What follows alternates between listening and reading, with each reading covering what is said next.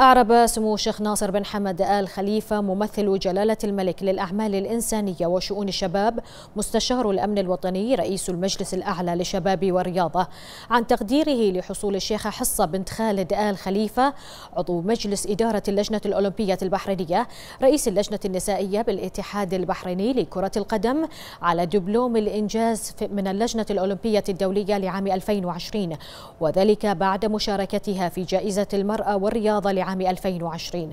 وأكد سمو الشيخ ناصر بن حمد آل خليفة أن حصول الشيخة حصة بنت خالد آل خليفة على دبلوم الإنجاز من اللجنة الأولمبية الدولية يمثل الدعم والاهتمام والمكانة المتميزة التي تحظى بها المرأة البحرينية من حضرة صاحب الجلالة الملك حمد بن عيسى آل خليفة عاهل البلاد المفدى حفظه الله ورعاه.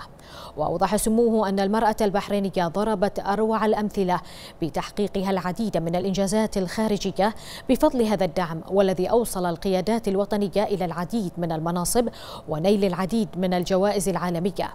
وقال سموه أن حصول الشيخة حصة بنت خالد آل خليفة عضو مجلس إدارة اللجنة الأولمبية البحرينية رئيس اللجنة النسائية بالاتحاد البحريني لكرة القدم على دبلوم الإنجاز من اللجنة الأولمبية الدولية لعام 2020 جاء ليؤكد مكانة المرأة البحرينية خارجيا وهو الأمر الذي يثبت مدى كفاءتها.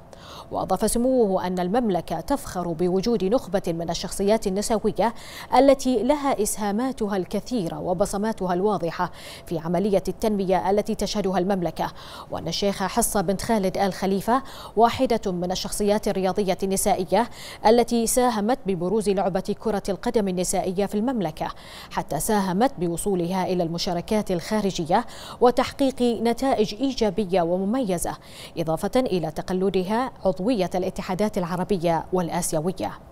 وتمنى سمو الشيخ ناصر بن حمد كل التوفيق والنجاح للشيخة حصة بنت خالد آل خليفة مقدما لها التهاني والتبريكات بمناسبة الحصول على دبلوم الإنجاز من اللجنة الأولمبية الدولية.